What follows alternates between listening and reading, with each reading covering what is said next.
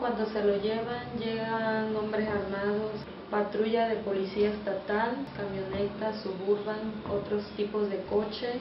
Llegan y se lo llevan porque él lo culpan del cómplice del robo de su patrón que sufrió meses antes, cuando mi hijo fue testigo.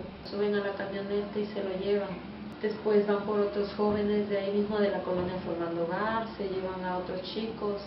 Hasta la fecha no han aparecido, algunos aparecieron, otros ya no, como lo que es el caso de mi hijo. Él aparece en el margen del operativo Guadalupe Reyes. Desde ahí desaparece mi hijo. De la desaparición de mi hijo yo recorro todas las instancias pensando que él podría estar en alguna instancia de policía, de policía estatal, la agencia de investigaciones, no lo encontré, lo que era la AVI, me lo negan, que no, que no, que no, y no tenían nada, no me quisieron incluso levantar la denuncia de mi hijo. Fueron momentos de angustia, de terror, ¿por qué no saber, no encontrar a mi hijo en donde yo pensé que lo iba a encontrar? ¿Dónde está mi hijo? ¿Quién se lo llevó? En esos momentos piensas lo peor y dices, ¿pero por qué?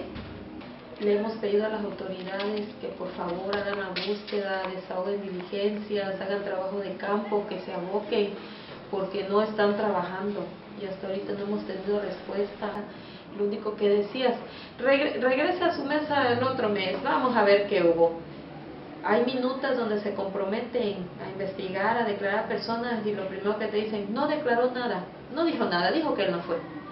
Compromiso, ya está el compromiso, ya se hizo, que venga lo demás. O sea, no, no han querido avanzar porque no quieren, porque ya se les ha dicho mucho de parte de lo que ha investigado uno. No confiamos. Te da miedo a que ellos mismos te levanten, a que ellos mismos te desaparezcan. A veces por decir la verdad, a veces te sientes como alguien desolado, que estás ahí, pero el miedo se te va. ¿Por qué? Porque estamos hablando de un hijo. A mí ya se me fue el miedo más miedo me da no encontrarlo, no saber de él. Y yo no voy a abandonar esta lucha, voy a seguir buscándolo. Porque estoy con la fe, con la esperanza de que un día mi hijo va a regresar por esa puerta y va a entrar. Y yo lo voy a poder abrazar. En eso creo.